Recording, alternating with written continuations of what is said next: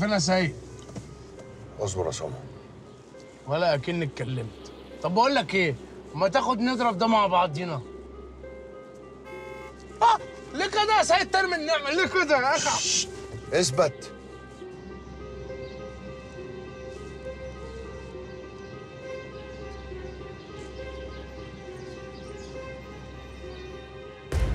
دور يا سامر دور.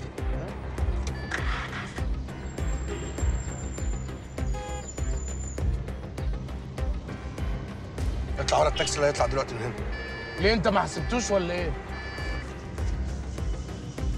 ده مين الناس دول يا سيد اطلع وراه ماشي. ما انت لو مش مستهيفني يا سيد وبتعرفني على نوع المهمة عشان كل مهمة وليها سواقتها يا ابني اسكت بقى. اسمع مني. أنا بص هطلع قدامهم وحته امريكانه أروح معرض العربية وبالمطوه انزل اثبتهم لك واجيبهم لك واحد واحد. وبيت سنينك؟ انت ما اتكلمتش وانت صغير. اوعى يزوغوا منك. يسوقوا مني إيه بس؟ يا سيد إحنا سايقين في أبو ظبي. ده إحنا لو بنزحف على رجلينا هنجيبهم.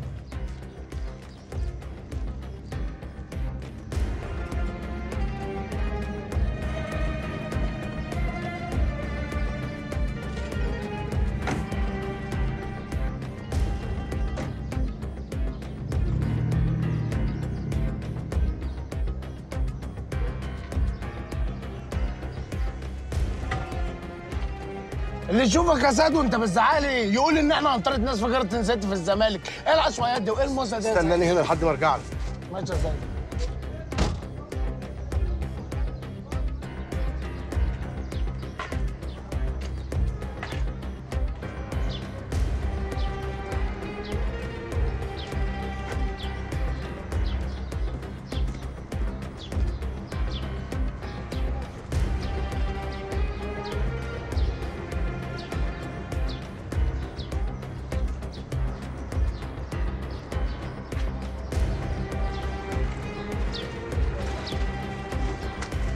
بديت.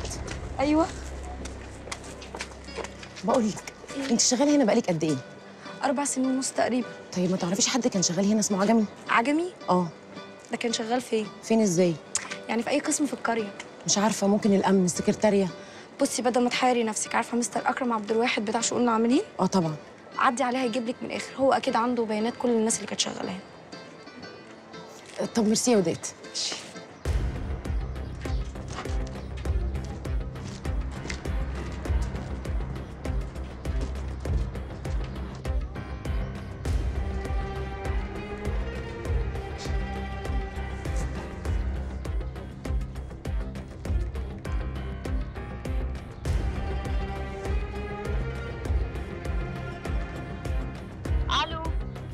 ألو ألو. أيوه يا سيد. سيد سامعني؟ أنت فين؟ ألو.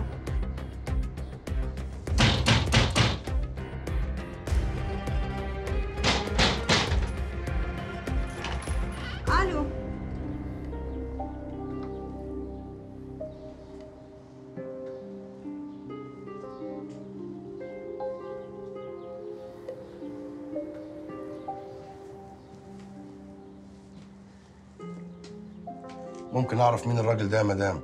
بتعملي إيه في شقته؟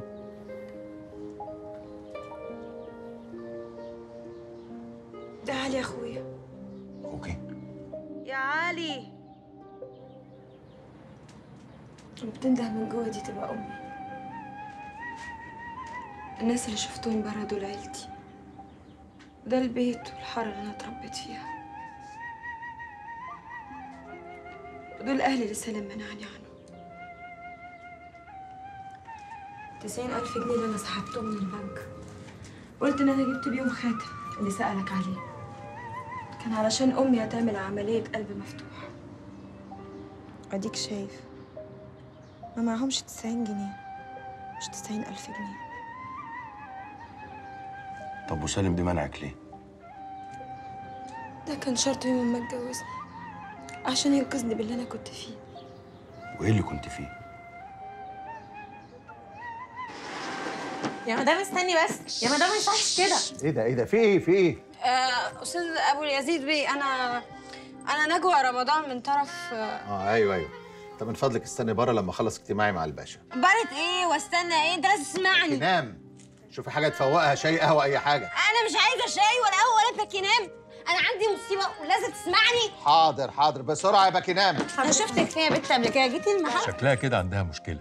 ما تشوف مالها دي. نخلص شغلنا الأول. كنت شربت لها حاجة وفات من اللي هي فيه. أنت مش شامم ريحة الخمرة اللي ملت المكتب. هو الشغل يعني هيطير. أما أمر غريب يا أخي. الذوق بيقول لك ladies first ladies و first. أنا فجأة لقيته في طريقي. ما أعرفش طلع منين. وقبل ما فرمل راح طاير على كبوت العربية. وقع على الأرض. وفجأة لقيت ناس كتير قوي حواليا. رحت راجعة marche arrière بالعربية على الكباريه.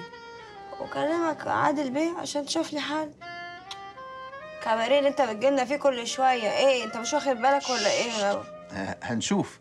هنشوف حل إن شاء الله. بس انت اهدي كده وعشان تبقي كويسة. آه، باكي نام. ورقة وقلم بسرعة. هتكتبي لي مكان الحادثة بالتفصيل. وبكرة إن شاء الله تطلع على الشهر العقاري. تعملي لي توكيل عام بالقضايا باسمي عشان أعرف اترافع عنك حاضر يبقى كنام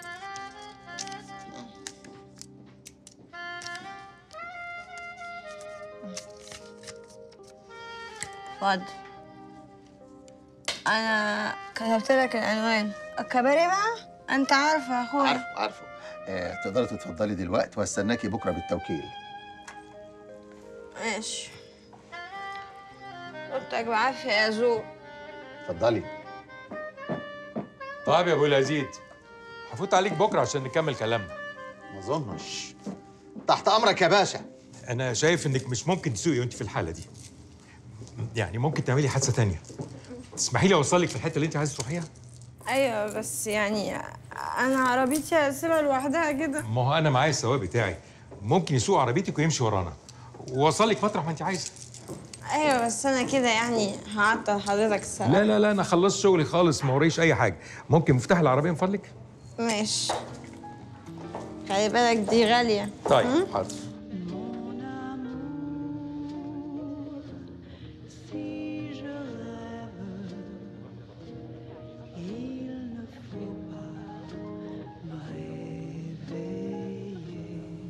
فعلا خرجنا بعربيته. بس ما وصلنيش على بيتي زي ما قال لي.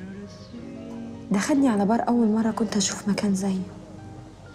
استغل اني ما كنتش في وعي وكمل عليا. أنا خريجة معهد سكرتارية دفعة السنة اللي قبل اللي فاتت. حبيت واحد زميلي في المعهد. بس هو كان في سنة رابعة لما أنا دخلت المعهد.